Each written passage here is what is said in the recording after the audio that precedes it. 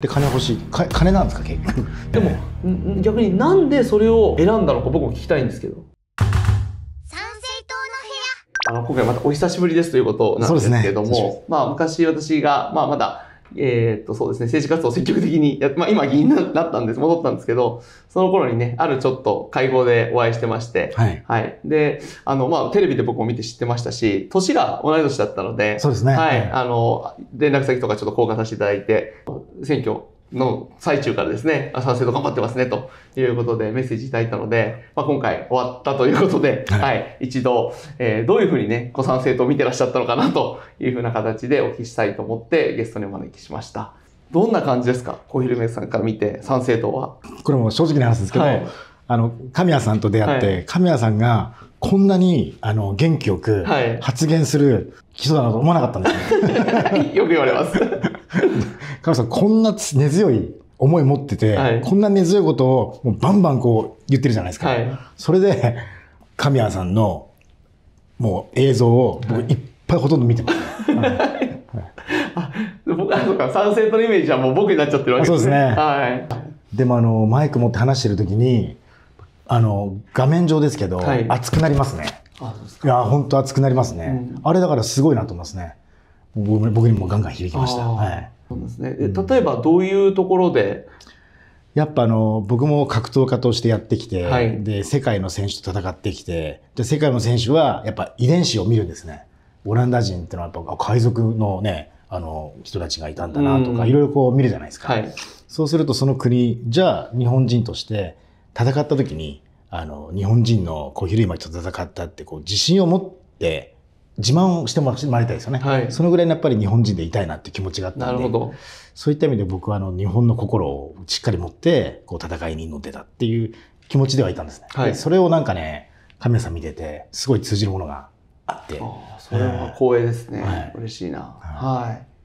まあ、僕もでも、本当にそういう思いでやってましてね。えっと、選挙の時もね、あの、ミノワーマンさんとか、はいはいはいうんですし、あとはね、あの、ほちょっと名前出したらあれかもしれないですけど、他にもね、格闘系うんの方がかなり、うんあの、裏で応援してくださってたんですよね。はいうん。だから僕も最初すごいう嬉しかったんですけど、あまりにも格闘家が多いから、あやっぱりそういうね、今、小小泉さんがおっしゃったみたいな、通ずるものがうんあるのかなというのは、僕もちょっと認識しました。うん。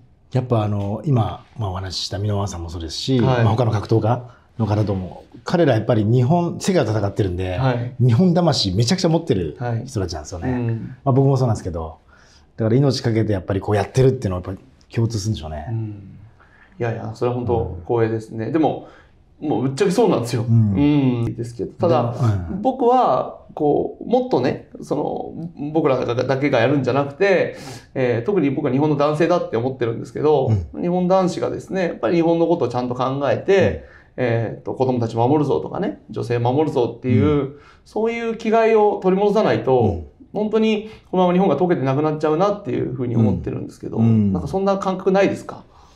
もうあのやっぱだからあの神谷さんのこう SNS を僕見てて昨日昨日もなんか点滴打ってました昨日そうです。ちょっと、昨日あの元気なかったんで、ちょっと ニンニク注射とか打って、はい、ちょっともうちょっと頑張ろうと思って。でその前とかはあの家族のはい。写真とか、なんかこのだからもうあれですよあの、ね、マイク持ってガツンと言って、ね、命かけてガツンって言ってる姿があればああいう家族のシーンがあったり点滴打ってる姿があって本当にもう命かけてこの人をやってるなっていう感じがすごいするんで。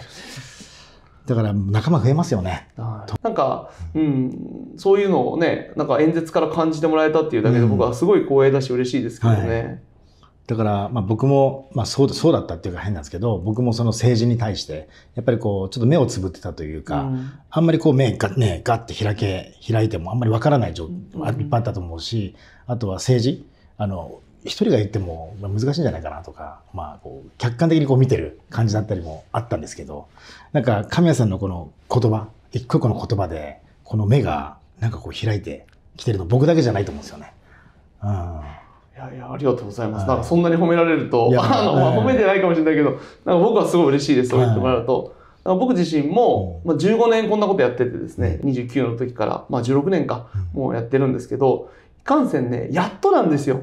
うん言ってることは16年ほぼ変わってないんですけど、は全然みんな聞いてくんないんでう、んそれこそさっきおっしゃったみたいに、あの、ワンは言うと怖がられたりとか、右翼だって言われたりとか、陰謀論者って言われたりとか、一生懸命言えば言うほど、なんか人からこう阻害されるような経験をいっぱいしてきたので、はい。だからまあ今やっとね、あの自分が言ってることがそうやって皆さんに受け入れてもらって、まあ目が開きかけましたって、目が開いてきましたって言われると、うん。もうなんかちょっと涙出そうなぐらい嬉しくなりますね。うん。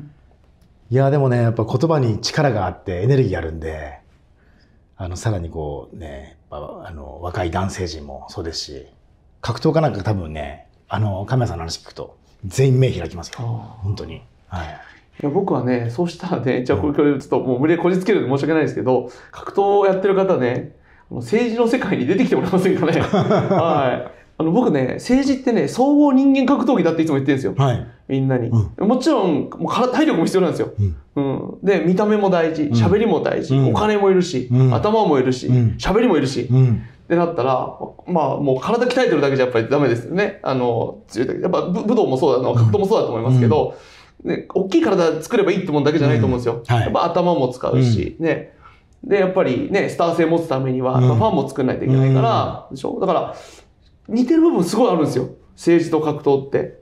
うんで、一番大事なやっぱ勇気なんで、はい政治も。はい。格闘家の方ってやっぱりね、うんそうやって戦いに挑む勇気はあるわけだから、うんうん、その舞台をですね、まあリングでもいいんですけど、うん政治の舞台もあるので、で、こっちは今もうね、全然役者不足なんで、はいはい。もういつも欠員ですよ。はい。はい。足りないんで、プレイヤーが。はい。はい。はい。で、いたとしても、こう、あの、なんていうかな、あの、いかにちゃ戦うかとかじゃなくて、どうすれば次の試合に出れるかみたいなことを考えてる人たちだから、うん。いやいや、そうじゃなくて、次の試合の前の前に目の前の戦いを一生懸命やって、うん。でそれで勝って次行くならいいですけど、いやとにかく負けてもまあいいんで、引き分けでいいんで、うん。とりあえずなんかいっぱいリング出て、あの、とりあえずファイトマネー欲しいんですよね、みたいな、そういう人が多いから、はい。だからね、うん、僕は格闘家の方が、はり舞台を、まあリング、まあリングも出てもいいですけど、うん政治の舞台に曲がってほしいなとはい。いう思いを持って。今の話聞くと、まあ、リングにいっぱい上がりますよ。はいで、金欲しい。か金なんですか、結局？いや、何なんですかね？お金とかポジションですね。あ、ポジションとか。はいあだから、本当に議員でもう、ん最初はねうん、多分世の中変えたいと思って政治家になるんですよー。うん。けど、そんな人がほとんどいないわけですよ。うん中入ってくると。はい。そうなるとみんなしらけちゃって、はい。いや、それだったら俺もそれなりに。で、もう悪いのは国民ですよ。うん。国民政治無関心だから、うん。こっちで頑張って戦っても全然応援してくれないわけ。なるほどね。だからだんだん政治家の人たちも気持ち冷めちゃって、はいい、や、そんなね、応援もしてくれないし、こんな人たちね、自分たちのことしかやんなくて、俺たちだけ頑張っても何も変わんないよねって言って、諦めが失望になり、そしてこう自己保身になるっていう、そういう悪いね、こう仕組みが出来上がってるんですよ。うん。うん。だから僕なんかは、ちょっとそういうのに一回疲れてやめて、うん。退場したんだけど、はいでもやっぱり、いやおかしいよなと思ってまた戻ってきちゃったっていう、ちょっとアンボンタンなところがあるんですけど、あ、これ戻ったきっかけって何なんですか？あ戻ったきっかけは、あの、結局、政治が辞めた後に、僕は政治とか歴史を教える仕事をしてたんですよね。はいこういう仕組みになってるよっていう。そしたら、勉強してる人たちが、いや、あんたそんなね、分かってんだったら、俺たちに教えてるだけじゃなくて、自分でやれよと。うん。で、僕からしてみたら、いや、やったんだけど、うまくいかなかったからやめたんだと。うん。うん。だから、あんた方やってよっていうのが僕の気持ちわけですよ。そしたら、だから、神谷さんやって、いや、お前らやれ、あやってや、なのに、じゃあもうしょうがないから一緒にやるかっつってう、ん賛成とかできたっていう、へー単純に言うとそういうことなんですよ。だから僕、だから今でも言ってるんですよ。だから神谷さん応援しますじゃ困るんだと。うん。僕一人じゃできないんだから。はい。だから、僕もやるけど、あなたもやってと。うんい。うのが参政党のコンセプトで、だからそうやって人が集まってるから参政党の党員さんたちは、みんなが自分で動くんですよ。うん。他の党の人なんか動かないんですよ。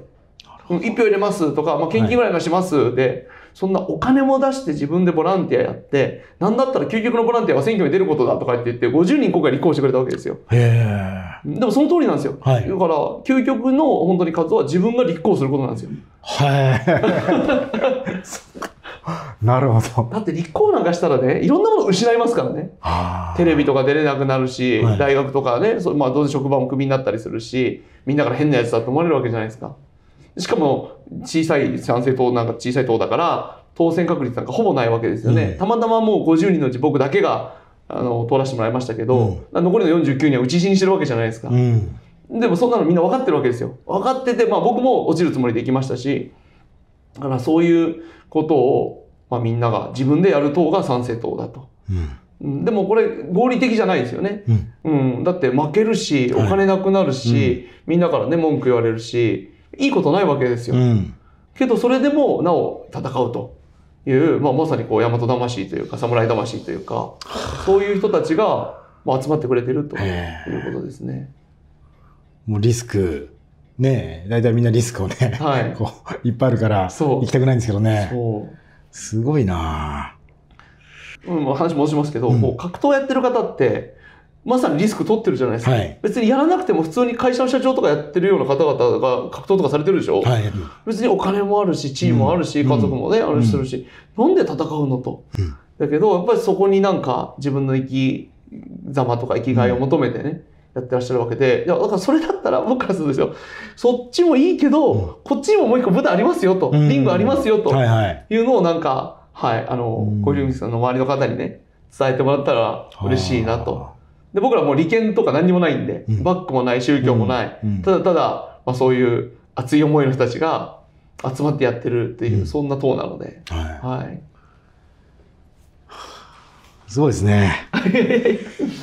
ちなみにあの格闘家で、はい。格闘家というか、まあ、あのレスラーとかこう政治に関わった人たちいるじゃないですか、はい。その方たちは神谷さんから見たらどうなんですか、いや、僕は、あの、かっこいいなと思いますよ。うん。うん。やっぱり、あの、命がけで何かをやるって、なかなかできない時代じゃないですか。うんまあ別に僕は戦争を求めてないし、そんなの戦争を来賛すること絶対ないですけど、でもね、やっぱりそう戦争行った方々ってかっこいいなと僕は思うんですよ。うんうん。だって誰も行きたくないでしょ、戦争なんて。そうですね。うん。でも、そういう状況になったら、あの、まあ、ね、徴収されていった方で嫌々だった人も多いと思いますけど、でも、いや、お国のためにね、家族を守るために、共同を守るためにって言って、勇んでいった人たちもいるわけじゃないですか。そういうのって、あの、に今の我々の日常ないですよね。うん。格闘やってる人たちって、うん。やっぱりそういう気持ちがどっかにあって、うん。それをやっぱり求めてる人たちなのかなとうん。いうふうに思って、その、うん、まあさっきも言いましたけど、必要のないところに行って、わざわざそういうね、命かけてやってくださるって。うん。で、それをまあ、ある意味一つのショーみたいな形にしてみんなに見せると。うん、でも多くの人がそれに引きつけられるのは、その生き様とか、その心意気見てるわけですよね。うん、勝ち負けじゃないと思ってて、格闘も。はい。うん、それは勝てばよりいいんでしょうけど。うん。でも逆になんでそれを選んだのか僕も聞きたいんですけど。あ僕やっぱりあの、まあ、格闘がまあ一番強い男になりたいっはい。ていうプライドですよね。うんうんそのプライドじゃないですかみんな。うんんやっぱそれとやっぱり、まあ、僕は特にあの青森県の三沢市はいで米軍基地があって空軍があるんですけど、はいやっぱその時代あのアメリカ人がバーってこう外歩いてはい。でかいんですよね。うん。でねあの飲み屋街もあったんで、はいガーって暴れるんですよ。はい。その時にやっぱりこうちっちゃくなっちゃうんですよ日本人は。うんだけどなんかこのねなんか日本人としてこう付き合わしいなと思って強くなろうと思って、うんでかくなろうと思って、まあ、そこから僕の格闘家道は始まるんですけど。なるほど、なるほはいど。そうですよね。やっぱり、なんか力でね、押さえつけられて、それに萎縮して生きていくって、なんか悲しいですもんね、自分の魂がね。はいうん。やっぱりダメなもんはダメだとはいいうふうに言いたいですね。うんいや、だから一緒ですよ。はい何回も言いますけど。うんうんすごいです本当に。いや、はいあの、私もリスペクト、格闘家の皆さんリスペクトしてますんで、はいはい。なんかお互いに、はいなんかそういった共通点を探り合えれば、うんここもいいかなというふうに思いました。本当でもあの今日の朝も僕トレーニングをあの教えてきたんですけど、はい。あの経営者の方であの、まあ、僕と同い年の経営者なんですけどすごくまあお金も持っててはい仕事ができる方なんですけど、あの今日神谷さんって方立ってくるんですよねって一言言ったらバッて僕のとこ来て「あの神山さんぜひあのお会いしたいんです」すっごい家族で応援してるんですっていう。あ、そうですねか。嬉しいやっ。ぱ思いがやっぱね伝わってると思うんで、はい。はい。またね、そういう方々周りにいらっしゃったら一度、ね、はい。なんか、あの、皆さんとお会いする機会作っていただければ、はい。はい、僕も出向きたいと思いますので、はい。はい。これをきっかけに、はい。いろいろと、はい、格闘と政治のコラボではい。何かやれればなと思います。ぜひお願いします。はい、今日はどうもありがとうございました。ありがとうございました